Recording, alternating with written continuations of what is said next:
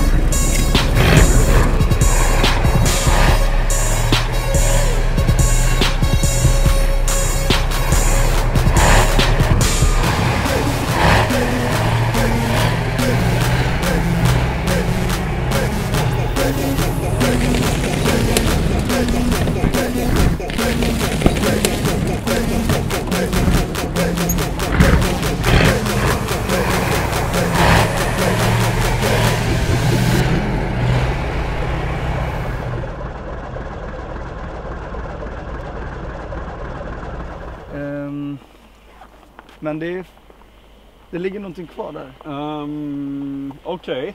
Eh, det kan vara bra att ha.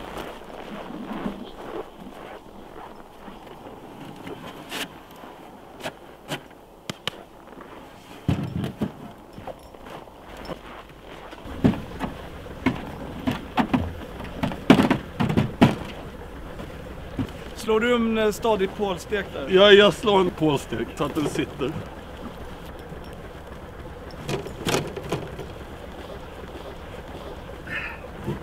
Ja, den där sitter. Den här sitter också. Det är en dubbel påstek. Kanon.